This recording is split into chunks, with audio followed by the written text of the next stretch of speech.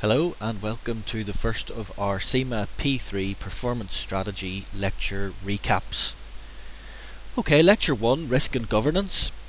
First thing we looked at was enterprise governance, how are we governing our enterprise?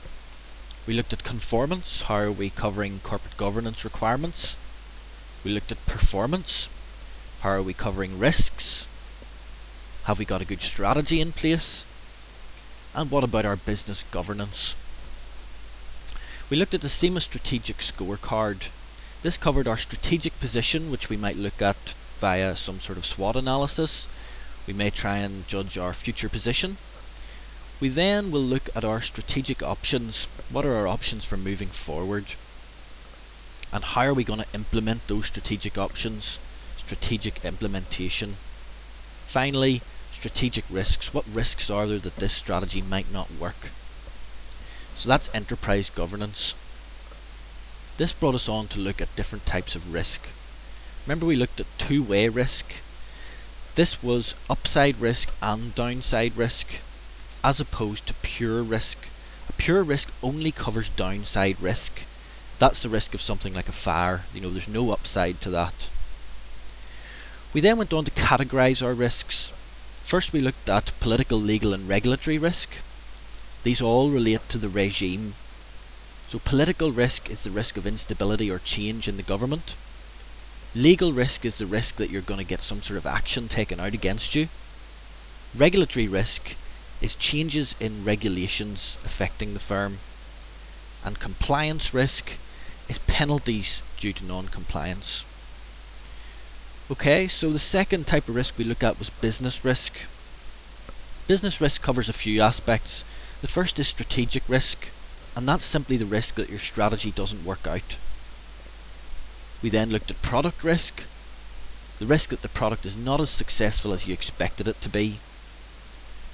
Commodity price risk, this is the risk that the price affects the profit, i.e. the price of the commodities that you're buying affects the profit of the firm. Product reputation risk, this is the risk that something happens to your product or your product gets a bad reputation and it affects the sales. Example we had of that was Maclaren buggies cutting fingers off small children. That's always going to affect the sales of a buggy. Okay, operational risk is the risk that you have poor systems in place and it leads to losses. And contractual inadequacy risk.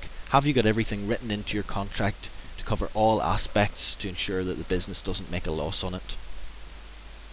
Okay, economic risk then. This was just the risk that there are changes in the economy. And this also relates to financial risk. Financial risk covers several aspects.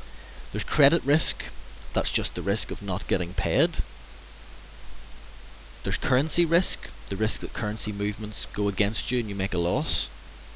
Again, interest rate risk, similar. If interest rates go the, the wrong way, it may affect the profit of the firm and gearing risk, taking on too much debt, not being able to pay your interest. Okay, technology risk affects firms who are maybe in a fast moving industry and technology simply moves too quickly for them and leaves them behind. Environmental risk, this covers really all aspects of the firm and its environment. Are there any upcoming events that may affect the firm? And if so, what's it going to do about them? And lastly, fraud risk. This is the risk simply that employees undertake some sort of fraud and it affects the profits of the firm. Okay, international risks.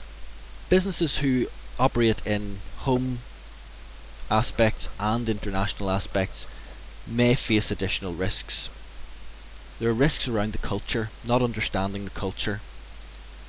Litigation, if you don't understand the legal situation as well as you would at home, you may be open to litigation. Credit risk can be a little bit more tricky than at home because it can be more difficult to get paid.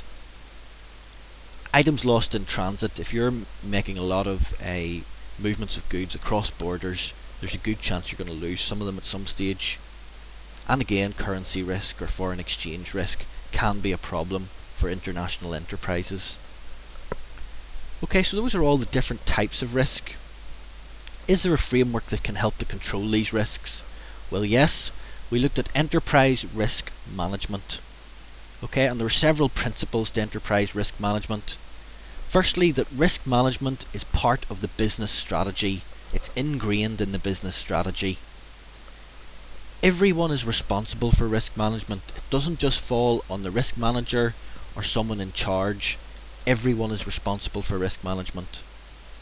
And this means that the culture is risk aware. Everyone is aware of the different risks facing the firm and knows how to deal with them. And that all risks are considered.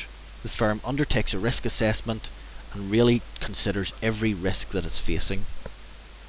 Okay, so what is the framework then for enterprise risk management? Well, first of all we look at the internal environment and this sets the tone of the organisation.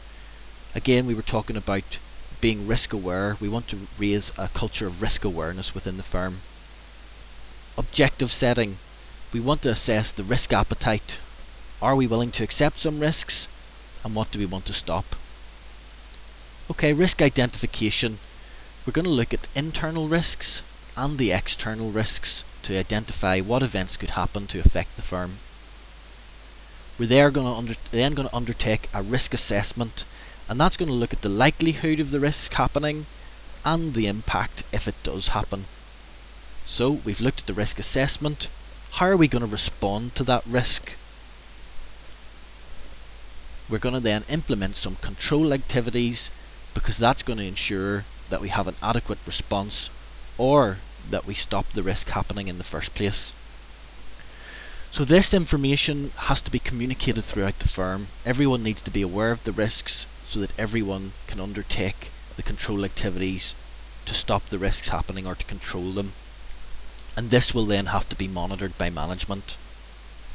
Okay, so that's the framework for enterprise risk management, but what are the benefits of having this in place? Well, firstly, you're going to have better decisions because all risks are going to be taken account of.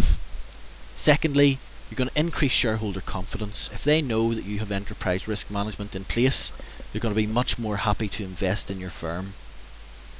Again, we're going to raise that risk awareness throughout the firm so that everyone's aware of the risks and they're then less likely to happen. That will lead to cost reductions simply because any risks that were going to occur and make losses shouldn't now happen. Okay, so that is lecture 1 Risk and Governance.